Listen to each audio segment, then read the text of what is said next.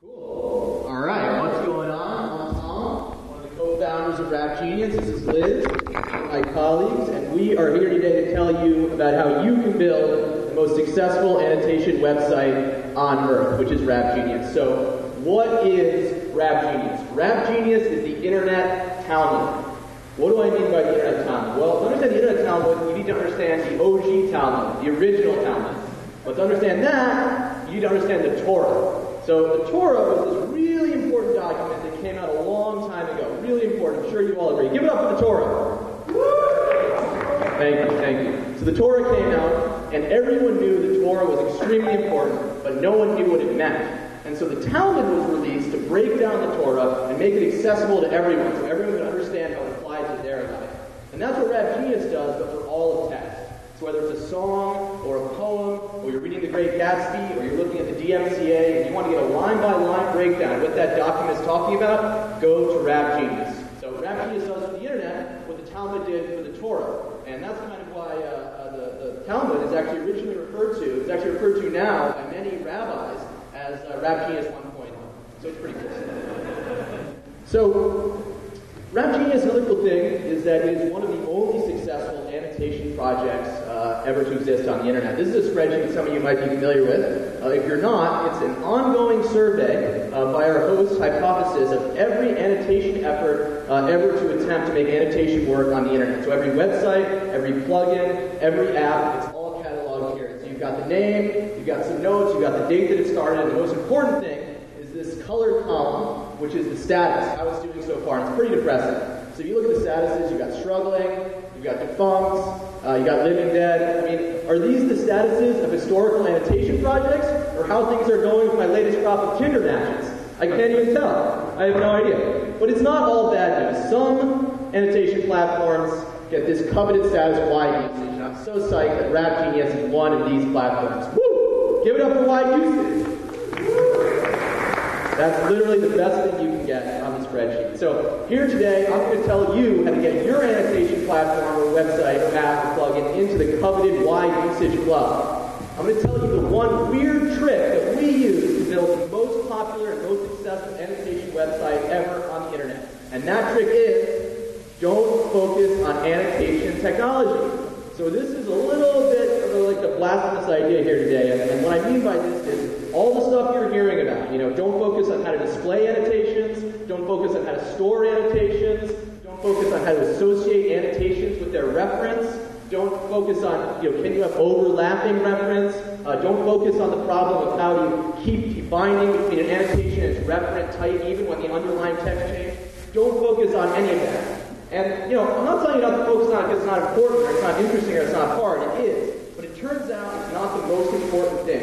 It turns out it's actually pretty easy to give people a way to annotate text on the internet. What's hard and important, and the most important thing, is giving people uh, the encouragement to write good annotations, write annotations people actually want to read. This is what uh, we focused on. So, to give you a little picture of how this went historically, let's go way back to the beginning. Uh, it's the first version of Rap Genius. Uh, this is it. This is the original version of Rap Genius in 2009. It was originally called Rap Exegesis. Uh, I built this in about six hours in, uh, in August of 2009.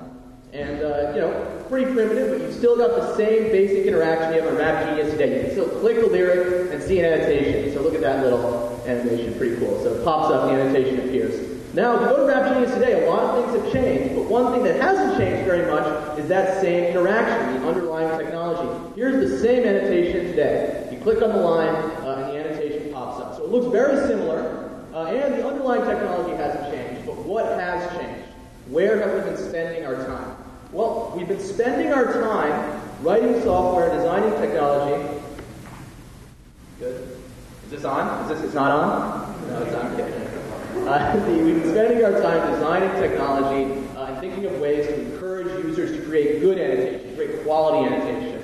To give you a little picture into this, I'm going to take an early line uh, from Rap Genius history, one of my favorite rap lines of all time, from whipping the bacon rolls to outside whipping the bacon rolls. This is a Cam'ron lyric from the song Family Ties, one of my favorites ever. Uh, anyone wants to know what it means, look up on the site. It's very complicated, very interesting. Uh, so this is a, a, one, of our, one, of our, favorite lines from the early days, and we talk this one to death. Here's an email chain between seven people going into extreme depth The correct way to annotate this one line. There are a bunch of different meanings, the homophone, it's really great, uh, etc. So this is what we were focusing on in the early days. We were focusing on quality. We were obsessed with how to get to the best annotation. Of course, back then, we didn't have any third, and then Chadwick at the very bottom contributed maybe a little sliver, maybe just made a little spelling uh, correction or, uh, or added some, uh, some uh, grammar correction or something like that.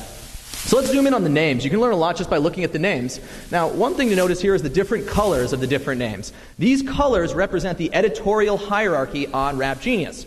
So when you first sign up, you start out as a new user and your name is in black like Gray's over there. What this means is you can create annotations on any text, but your annotations are subject to review by editors. Editors can come in and reject or accept your annotations. And if you're a new user, getting your annotation accepted, man, that's one of the most exciting things that can happen. You get a little notification, you get an email, it's great. Getting annotation rejected can be depressing, but if the editor is good, it will often open up a conversation about the quality guidelines on Rap Genius, what it takes to create good annotations, etc. And so you can start out getting all your annotations rejected and end up learning the quality guidelines and becoming a core contributor. Now, if you do enough good annotations, eventually you get promoted to be an editor, which will turn your name orange, like Chelsea Girls.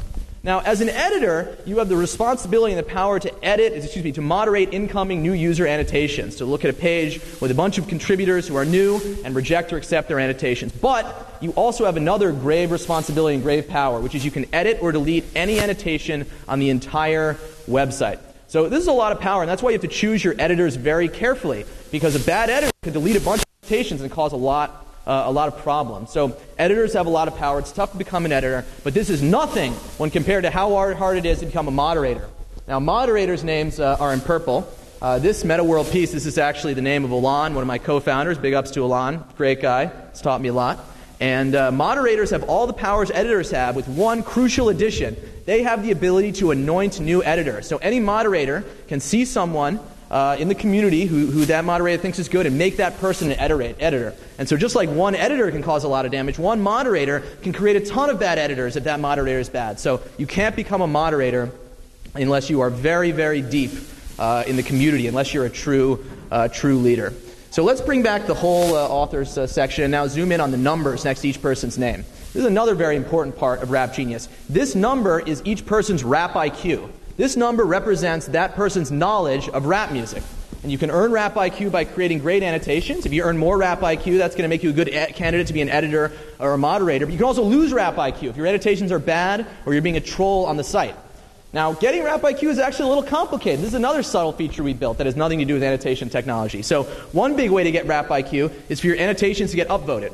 So, if I upvote this annotation, everyone who contributed will get points in accordance to how much they wrote. So, for example, Gray at the very top, see, he wrote about a third of the annotation, and so that means he'll get about a third of the points that my upvote confers. Well, how many total points does my upvote confer? Well, that is related to the amount of rap IQ I have. So if I have more rap IQ, that makes my votes worth more and gives more rap IQ to the author. So it's a pretty uh, nuanced system here, pretty complicated, uh, but it's worth it because people go nuts uh, for these points.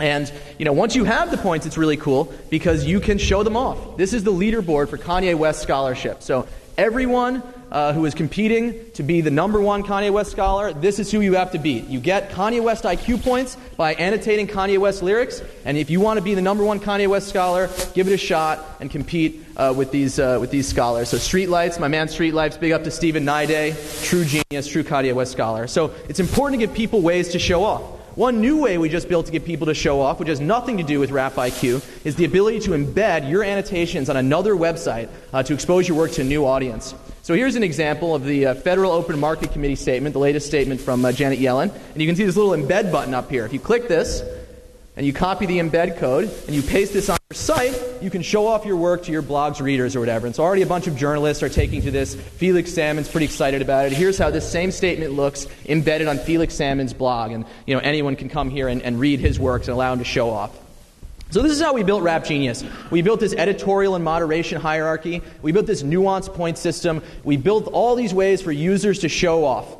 And we did this to encourage quality, and it works, and it took a ton of time and a ton of effort, but it has nothing to do with the underlying annotation technology, which hasn't changed very much at all. And now, as we move into different communities and different texts, we have to build different technology to suit these communities. So, one example, we had this very exciting incident earlier this year where we hosted the close reading portion of a HarvardX Divinity School online, multi, uh, a massive open online course uh, on the letters of Paul in the Bible. And so all these students, thousands of students, came to Rap Genius and annotated the letters of Paul uh, in Romans 1.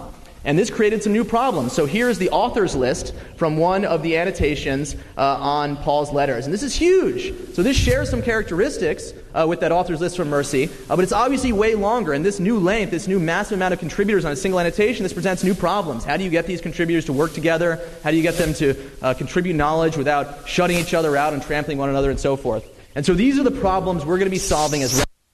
these are community problems. They're all geared towards the same question. How do you get multiple people, multiple experts from across the world to come together and contribute knowledge effectively and create great annotations? So that is the secret to building an amazing annotation platform. Focus on annotation quality. Obsess about annotation quality.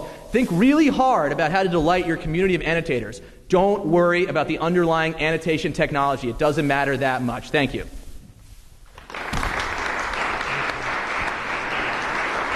Any questions?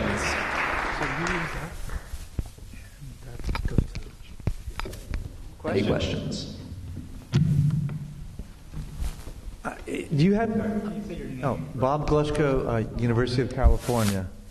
Um, I love this stuff, but I'm wondering if there's any way to have kind of a priori reputation have a role here. If, I mean, if I'm a professor, I should get some points to start. If I'm annotating some kind of scholarly work, as opposed to starting from scratch. Otherwise, that disincentivizes me. I have to, I have to compete with the graduate students at first, right?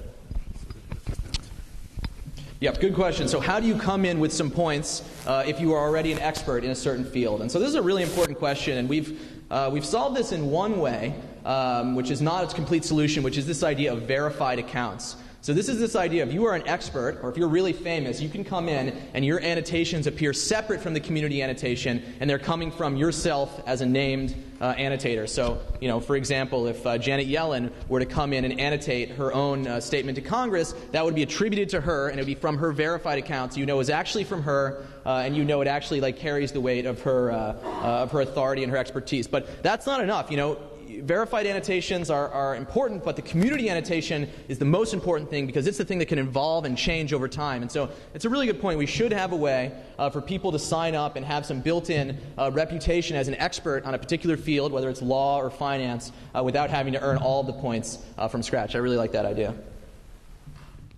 Uh, hi. Um, Rap Genius has a, is an amazing platform. Uh, there's some issues, though, with annotations and selecting overlapping annotations. If somebody selects a body of text and somebody else wants to select a fragment of that body of text that's already been selected, they can't do that. So, are you planning to change that uh, feature or, or modality?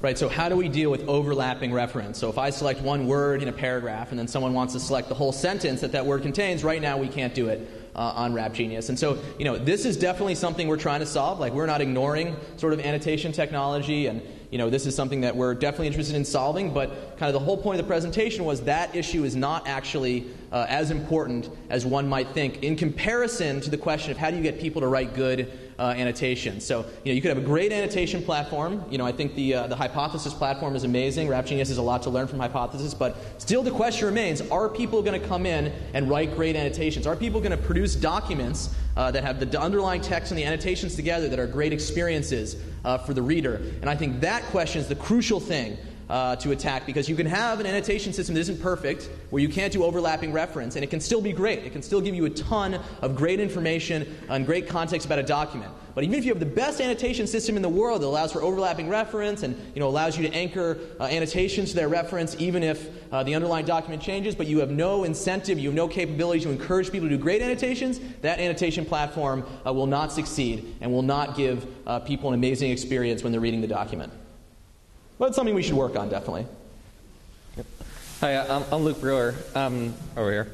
Uh, and have you thought about enabling sort of developing schools of thought where I might like the opinions of this group and the other person might like opinions of that group and how this might uh, interfere with the sort of global reputation system? Sure. So, you know, what about different schools of thought? You know, like uh, I think you know the Bible is a really good example of this. You can have historical reading of the Bible. You can have various religious readings of the Bible from the various religious uh, traditions. How do you get all those together on one canonical uh, document. So, long term, and again, this is in the world of annotation technology, which is, again, what I don't think is worth focusing on, but we have, you know, I love to think about this stuff. I'm deeply interested in it. So, long term, the way we're going to solve this is with something we call annotation layers. So you'd be able to go to a document, you'd be able to select the layer that you want to see, the annotation layer that you want to see. So you could select the historical perspective layer uh, on the Bible, and that might give you a very secular historical reading. You might use like Bible as literature, and that'll give you a secular reading as literature. You might you know, select the evangelical layer, which is going to be a very religious layer, that the annotations are all targeting one particular religious uh, tradition. So this is in the future, and you can imagine private layers. There can be a layer for just your classroom uh, that has their own experience with the Bible.